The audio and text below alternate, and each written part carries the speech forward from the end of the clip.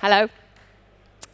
Uh, we are MakieLab. We're just under, well, about two years old now, and we formed in London. My name is Alice, and this is Sulka, and he's from Helsinki. Uh, and we make toys using on-demand manufacturing, mainly 3D printing. Our first product is Makies, which is a avatar to doll product. Uh, you can build your doll using an avatar-based system through the web and, and iPad at the moment, and our game is coming soon. And our software manufacturing system pushes those models to 3D printers of all kinds, brings them back to us, and we send out a co-created toy to the maker. Um, we do this in London. This is probably the first time that toys have been made in London since, well, 100 years ago or so. Uh, so we're bringing manu manufacturing back. Um, but fundamentally, each toy is unique. We started with dolls because dolls is the number one toy category. The second biggest category is construction, and on it goes. And what we're doing is blending the business of free-to-play mobile games with physical toy manufacturer. One day, back again, too. So um, we are the world's first 3D printed toy. Uh, I can say that because we achieved toy safety testing, which is obviously critical if you want to get to children. Uh, we're European safety tested for 3+, plus, and now we're working on America and Asia. And uh, despite still being in alpha, we consider ourselves not even at beta yet. We've just won um, three significant toy awards, including the one I'm most proud of, Dad's Choice. This came about, our background is in games. And we saw, um, obviously, lots of business in virtual goods. And we thought a couple of years ago, wouldn't it be nice if you could turn these virtual goods into physical goods without having to wait years, without having to go to China, without having to spend millions on marketing months and months, if not years after the fact, after you've had the, the idea. The traditional industry has been changing radically for 30 years now. Um, it's been consolidating in the Far East. The American, British, European manufacturing systems have all gone over there. And it can take up to seven years to bring a new toy to market. In the meanwhile, we still have, we have the maker thing happening at the same time, which brings new manufacturing, 3D printing, laser cutting, that kind of thing, to people like us and you. One of the first things that happened with uh, Cory Doctorow's book there was literally within months, somebody modeled the front and produced this, and this came through the post. He showed it to me, and I was like, that's a toy. I started playing with it. When you build a traditional toy, if you want to build a doll, for instance, this is what you will see in a traditional shop. Uh, a doll will cost tens, if not hundreds of thousands of pounds to create from top to toe in terms of molding. And you then mass produce the product. You buy the space in the toy store for the most part. So if, if you want to be a startup and go up against these folks, you have to go up against people like Mattel. You buy that space, you stock up your product in warehouse, you spend billions on marketing sometimes, um, millions, billions yet. Uh, Lego spent 40 million launching Friends in the US alone, and that's their pink Lego for girls, which you'd think would need no marketing at all. Customization also with mass-produced product doesn't really happen because you've made these molds, you make thousands and thousands of the same thing that goes to the same person. American Girl um, does it the hard way. They produce 40 different types of doll at great cost that are almost identical so that you just choose the one that looks most like you.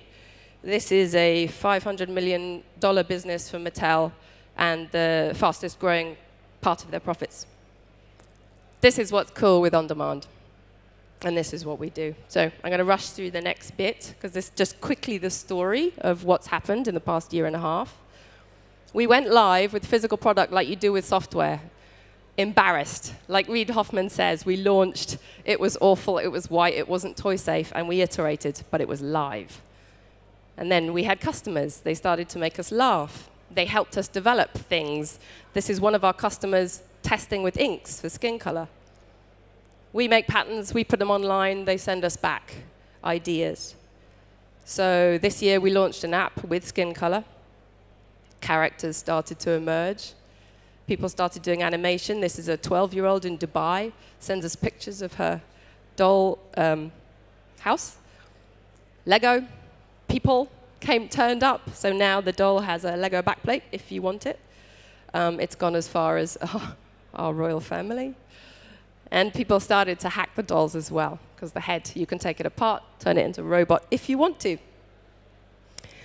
We're currently in Selfridges, which is a large store on Oxford Street, and we've gone from demo to Selfridges in a year, which um, pretty much unheard of with the traditional industry. And we're working with them on iterating how you do on demand in a traditional retail environment. Next stop, kids. So we're working on all these things at the moment. They're going live week on week. We're shipping. This is our target, the 10 year old girl. We're rebranding to suit her the game that launches in a couple of months um, will make lots of product real. You can see a 3D printer there, up there. So uh, the kids will be able to not only turn their avatar into a doll, but the cloth that they draw on the clothes into physical things, and the shoes into shoes. I've got one in my pocket. Some of the things you'll have to reach level 20 before you can print out a certain object, so you tie that game achievement back into physical. We're doing this with kits as well, because we can do this on all levels of variable pricing. So we're testing stuff out, treating physical like digital, iterating live. We conceived of these four weeks ago. Within two weeks, they're in the store, and now we're iterating on response. And the kids love it. Uh, just yesterday, Selfridges launched the Christmas lights on Oxford Street, and they had Jessie J singing. And two weeks ago, they said, can you do a limited edition Jessie J doll, which usually would take nine months to produce? And we said yes, and we did it in two weeks. And yesterday, Jessie J Instagrammed a picture of herself and her Makie doll, and she said it was awesome. That's us. Thank you very much.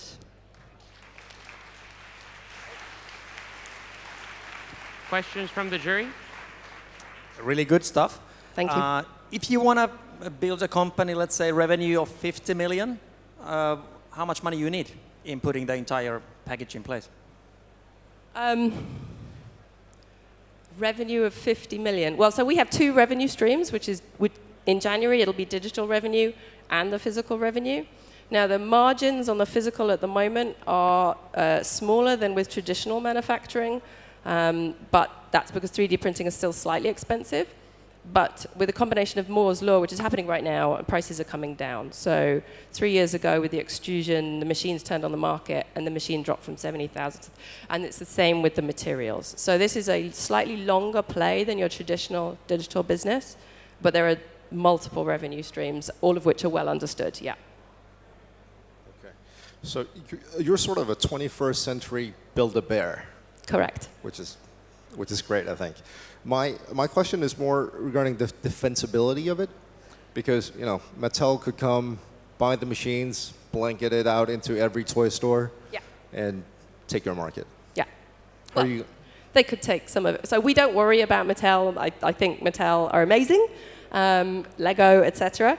But um, can they copy us? Yes, they can. But the reason that we're treating physical like digital is that we think that by putting stuff out there and talking to our customers from day one, we grow love, and it's working. So, I mean, Mattel is, is um, likely, definitely going to be looking at 3D printing, but they're an enormous business. Most of their business is in the Far East. It's going to take a while for them to change, and meanwhile, we're growing. So, yeah, we don't. We're happy to join them. Yeah, so I don't actually think you need to be worried about Mattels and other big players. You're definitely on the right path my work in a way is that because this is a branding game, Correct. it's going to take a huge amount of money to build a brand, or is it? So uh, can you elaborate on that? And is your so, brand being uh, built on uh, the physical or in the digital side? So it is both, but the reason we consider ourselves a games company that makes toys, and the reason the game is, is second is simply because the toy, the manufacturing side of this had never been done before. So we set out to prove it could be done, and now the game's coming out. So that's why I said we were pre-beta. When the game comes out, that's when that loop is finally closed, and we think that the game is the best possible audience building thing. So Supercell with toys. All right. Thank you. That's great, guys. Thank guys. you. Thanks, everybody.